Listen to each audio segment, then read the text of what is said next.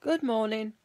I'm going to share with you this morning something about William Carey, who was one of the greatest missionaries that were sent out from the UK. He was born in 1761 and died in 1834. But at the age of 12, he finished his education in Northamptonshire and became a shoemaker. At the age of 14, he was led to Christ by a fellow cobbler. From then on, as a member of the Baptist Church, his one burning desire was to know Jesus Christ and to make him known throughout the world. However, up to this point, British churches had done little in terms of overseas missions, and some Christians tried to dampen his enthusiasm. An older minister had said to him when he when Carey had stood up to speak of his vision. The older minister said to him, "Sit down, young man. If the Lord wants to convert the heathen, he can do it without your help."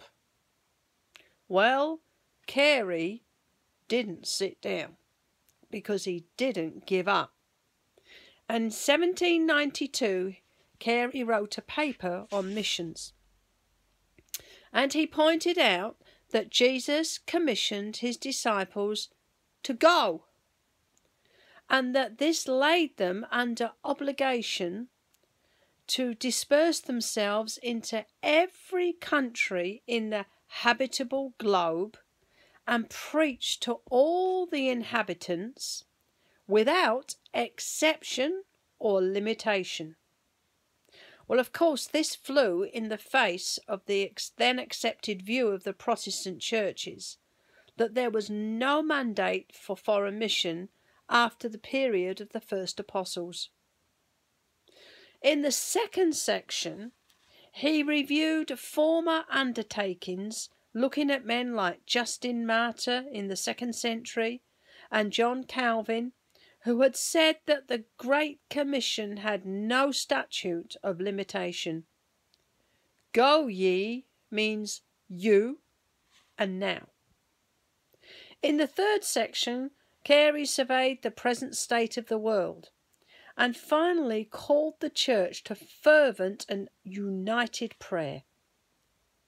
He ended up by writing this Surely it is worth while to lay ourselves out with all our might in promoting the cause and the kingdom of Christ.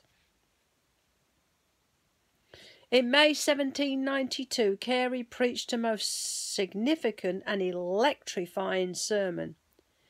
His text was Isaiah 54, verse 2 to 3, and his biographer, Timothy George, writes this Carey took the prophet's words addressed to ancient Israel in a time of distress and applied it to the church in his day.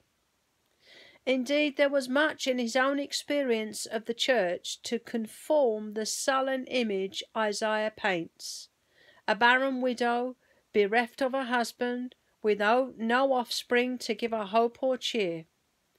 Yet the prophet calls for rejoicing, not lamentation for celebration, not sorrow.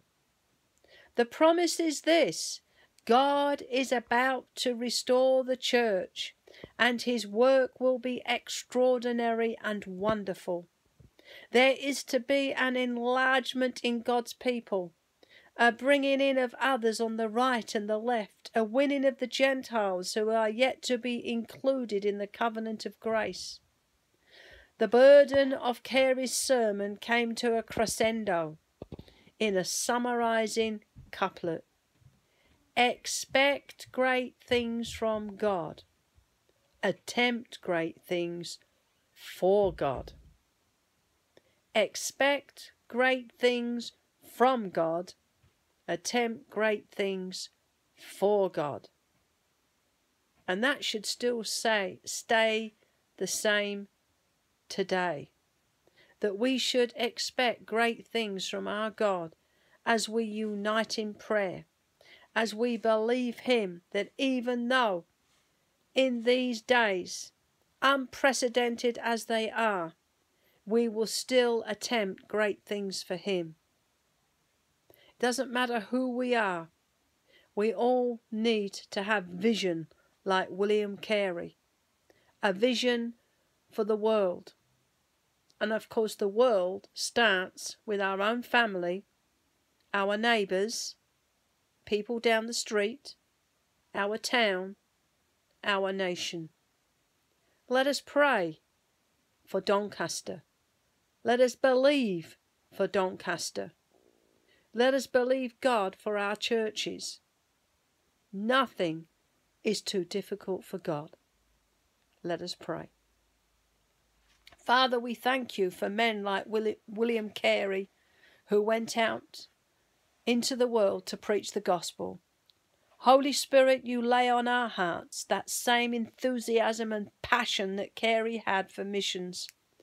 Lord, yes, it starts at home, but Father, give us grace, give us anointing of the Holy Spirit to speak your words to the people that are all around us by not just by our words, but by our actions.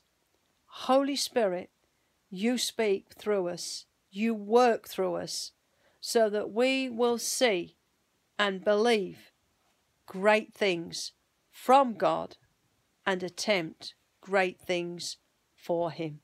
In Jesus' name we pray. Amen. Have a great day. Remember, God is with us. God bless you.